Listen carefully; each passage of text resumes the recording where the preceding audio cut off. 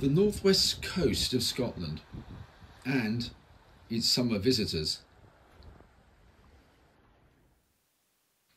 were up near the tiny villages of Clachtoll and Stoer. The area has a long history of human occupation on the very edge of Scotland. But it has a geological history that stretches way back into the distant past. Well, another sunny day in northwest Scotland. I've come up here to the coast between the villages of Stoer and Clachtoll to look for some evidence of a violent past. It's going to be quite a surprising story.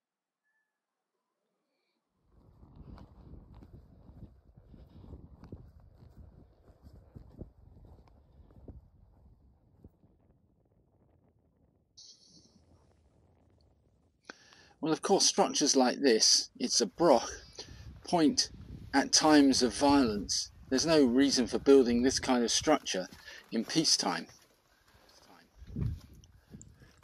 But we're not really interested in the archaeology here. We're interested in the geology which provided these stones. We're going to get out of the broch and go over to the rocks on the other side of the bay. And that geology is going to tell a story that's far more violent than anything that's happened in human history.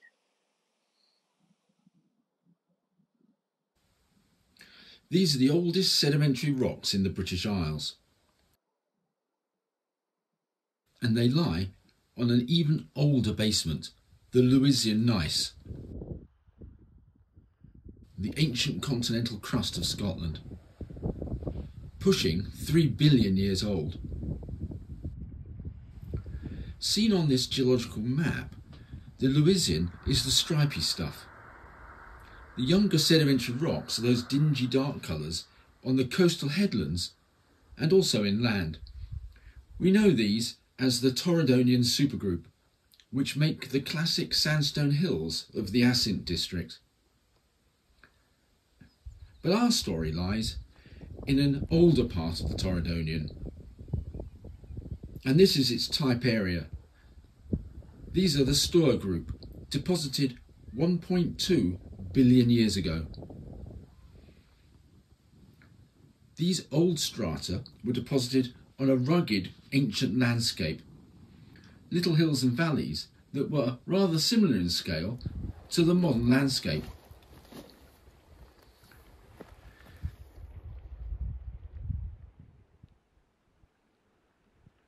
So we find basal breccias and conglomerates shed off the little hills, preserved in what must be ancient paleo valleys. But this rough landscape was soon lost as the geological record continued to play. So those breccias there which carpet the edge of that uh, hill of Lewisian gneiss, well they're just a veneer on that landscape and quite quickly the geology passes up into these rocks here which I'm sat on which are red mudstones. They're leucostrites, so lake deposits. So in a continental environment 1.2 billion years ago. But this isn't the exciting bit. We're going to move up the section and see what happens. So we're crossing over now to continue to move up through the succession of the Stoer group, which is really nicely exposed along the shore of the Bay of Stoer.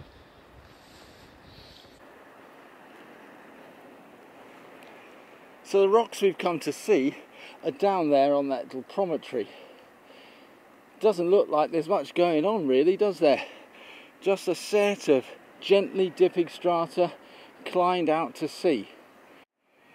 But there's one particular layer that's really dramatic. We'll save that for a minute. Let's just go and see the context of what the surrounding strata look like.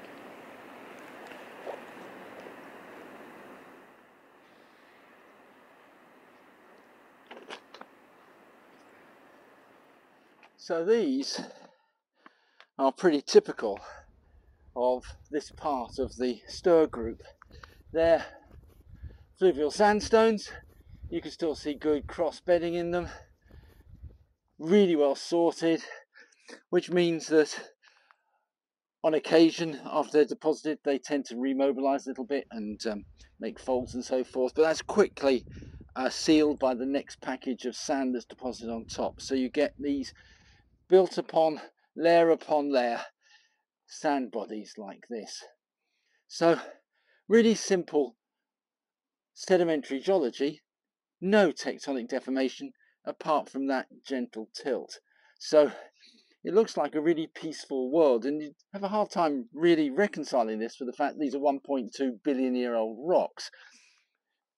Okay, well, let's continue and see what happens when we go to a rather particular part of this succession.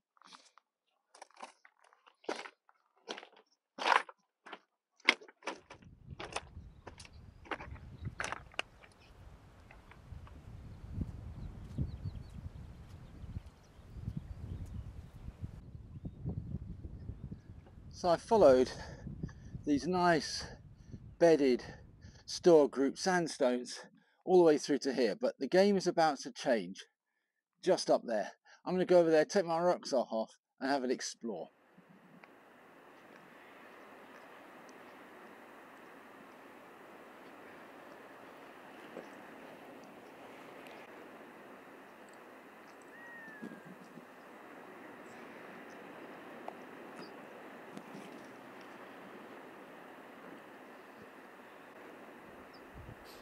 Outcrops here contain disrupted layers of sandstone encased in a matrix of this stuff, which is a thick, unlayered or massive unit with abundant lumps of dismembered sandstones of all shapes and sizes in a muddy soup.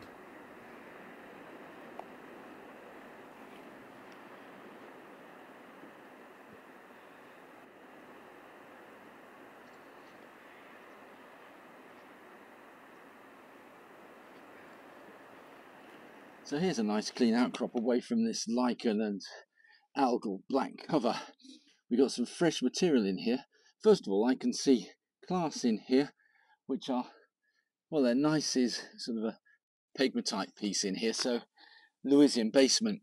But um, we've seen on our tour along this outcrop, almost all of this material is actually uh, the clasts, so almost all uh, sandstones. But what else have we got in here? Well, there's lots of these green shards, which are some of which are streaked out and flattened. So a very composite type of stuff. This it's a sort of a micro microbrecciary sort of material, all sorts of material caught up in it.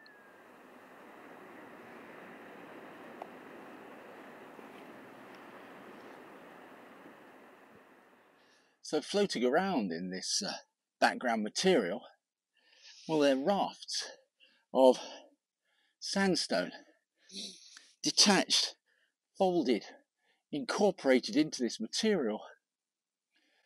So, is it a debrite, a mass flow like a pile of slurry coming down a slope?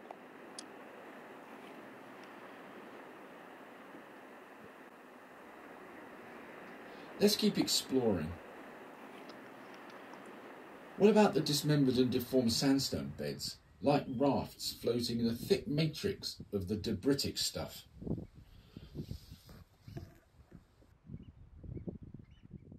These raft structures are pretty dramatic. I'm sort of following this one along here. We can trace it along around this corner and see that it's sort of folded up like this. So rafts of folded sandstone within this sort of matrix material.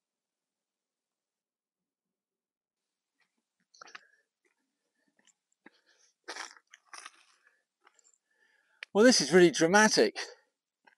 There's a layer here of sandstone. It's been folded. So whenever this happened, it must be pretty soft and gloopy. But it's entirely detached. It's a lump floating in this matrix. And we can see we've got other rafts here that I'm stood on top of that have been flipped up a bit away from the general dip, which should be down like this. So we've got some pretty curious deformation here with flaps of sandstone lifted up. Well, what about what sits between? What's doing the lifting? What sits under the flap?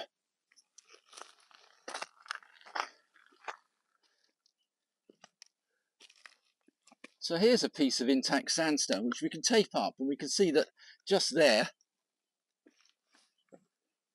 here, it basically stops to be replaced by this material which is the surrounding stuff. And I can see this forms a layer running out along this direction. Let's follow it a bit.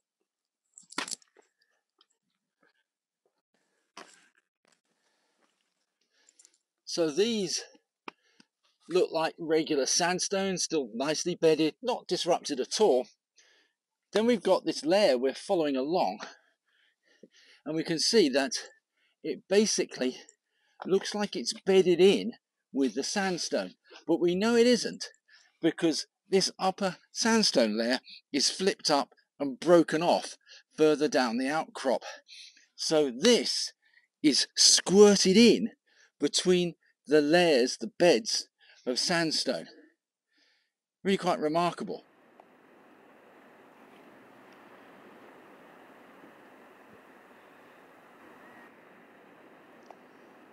So this is pretty interesting material. It's got blocks of the surrounding sandstones within it. If we look closely, there are also these other fragments, which are interpreted to be devitrified glass. So at least some of this material was once molten. So, what's its origins? Well, the obvious answer is this stuff is volcanic. It represents an extrusive igneous rock, a volcanic mudflow, or lahar, that ripped up the underlying sediment as it flowed. But the catch is, there are no other volcanic rocks in this section. Our putative volcano, then, only erupted once, and that's just implausible.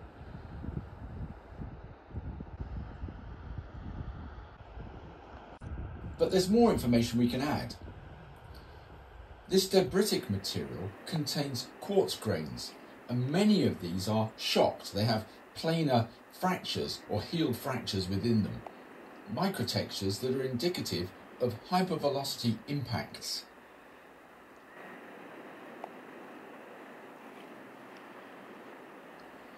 And then there's the geochemistry. Those little glassy shards are enriched in chromium, nickel and cobalt, values beyond terrestrial levels but common in meteorites. Furthermore, they're enriched in the isotope 53 chromium, enriched compared to the Stoer group and the Lewisian gneiss, but comparable with those found in meteorites. So the view now is that this material was ejected from a meteor impact crater. So a base surge of sediment and rock debris roared through here, tearing up its substrate.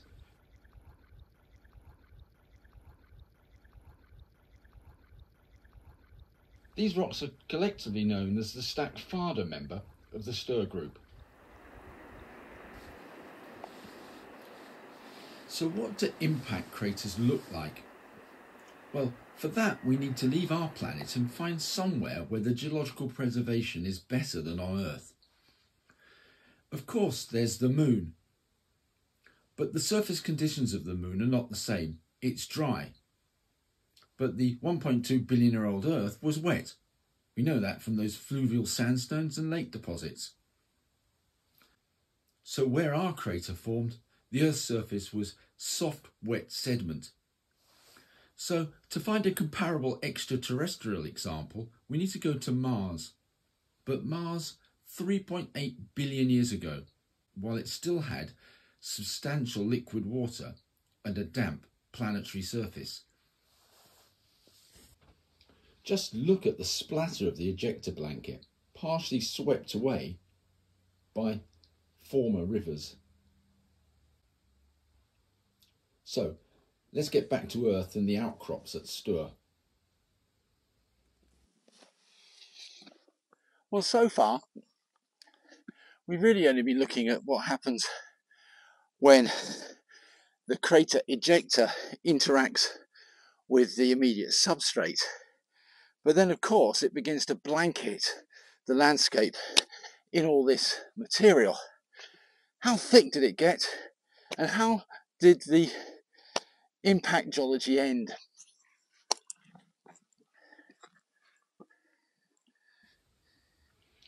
The blanket here at the Bay of Stoer is around 10 to 12 metres thick.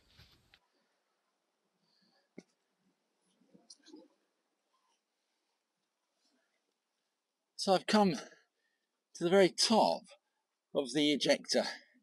Still lots of fragments in here. I can still see there pieces of Lewisian caught up, fragments of this sort of glassy or devitrified glass, very fragmental. But then, literally, the layer I'm sat on, going on up, just becomes a layer of mud and silt. So we can imagine an ejecta very energetic base surge flushing out, carrying the coarser material out away from the crater, and then a whole pile of dust going up into the atmosphere and raining down afterwards. So the likelihood is, I guess, that the original ejecta base surge lasts a matter of minutes. So we build up all that succession very quickly, and then over the intervening hours, the ash cloud just drifts down and carpets the land. After that, of course, we just go back to normal, and those fluvial sands just continue to build out across the landscape. So, a very violent day in the life of this part of Scotland about 1.2 billion years ago.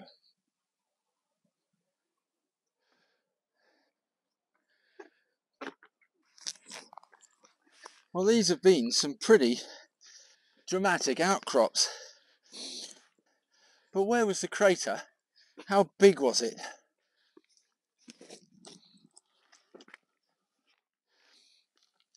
So, what can we learn from the clast composition within all this material here? Well, almost all of it are the local sandstones. But there are occasional clasts, as we've seen, of the Lewisian basement.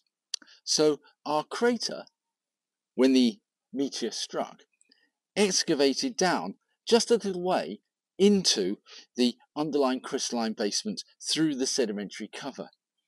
Now, we don't really know how thick uh, these strata were, but let's assume they're about a kilometre thick, which is sort of the maximum preserved that you can recognise in uh, this part of northwest Scotland. Well, if that's the case, then the crater is only going to be maybe one, one and a half, perhaps two kilometres deep. And from that, we can get an idea of how big the crater was. And we can get that idea by comparisons with Martian craters.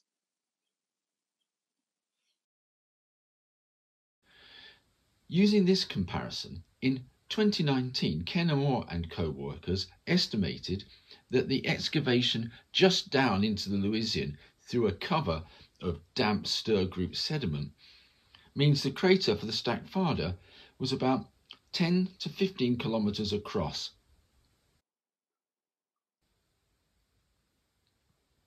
How far away was this crater? What can we learn from those craters formed by impacts into an ancient damp Martian planetary surface. Generally, the wet ejecta blankets on Mars extend no more than 1.8 times their crater widths. Using maximum values for crater width, Ken Amor and colleagues estimated that the crater for the Stac Fada rocks lies no more than 30 to 40 kilometres from our site. But where was this crater? Can we use the fold structures here as directional indicators? Well, let's look at the rampart craters on Mars. The ejecta can form complex lobe shapes, so the fold orientations are likely to be complex too.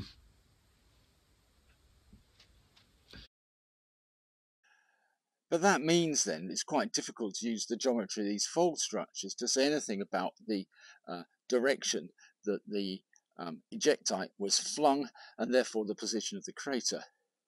It could almost have come from anywhere, uh, from any given fold structure. But we can use the clasts entrained in the ejecta blanket to help. Ken Amor and colleagues matched the Lewisian clasts to basement types that lie not to the north, but towards the south of Stoer.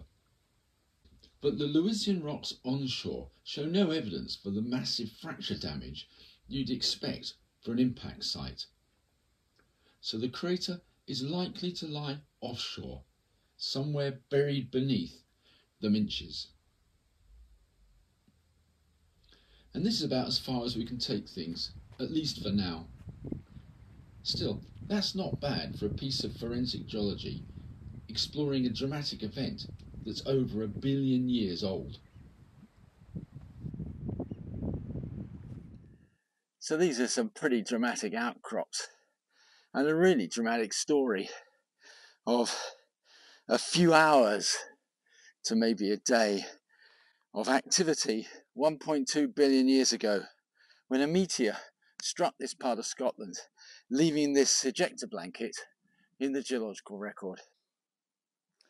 So that's been a quick look at the geology of Stac Fada. Of course, we could go to Mars to see this sort of thing preserved in three dimensions. But here we've got it preserved in northwest Scotland from 1.2 billion years ago, and we can really get our hands on to the structures and see the preservation of these remarkable rocks. It's a great place to come and visit.